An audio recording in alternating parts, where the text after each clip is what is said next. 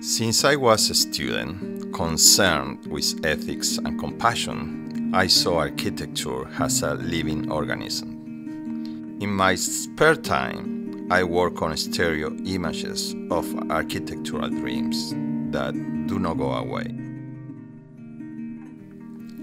I became interested in the integrity of systems. I attempted to discover in their laws of organization, behavior, and construction the poetry, freedom, and transformation on which to base my work. To let the materials that we organize in space live in harmony with the forces of nature.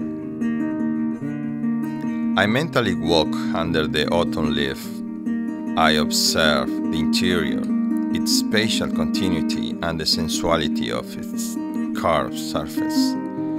The marks differ between the low corners, touching the ground, and the high one like an extension of the surrounding foliage.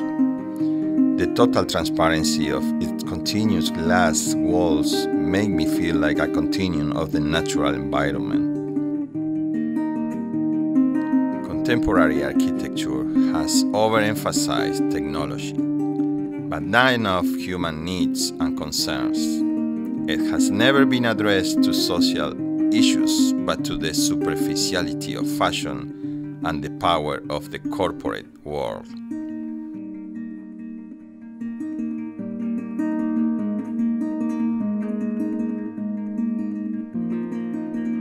Floralis generica, the synthesis of all flowers created by nature, offers such a voice to the city of Buenos Aires, a voice that carries the sounds of hope and eternal spring.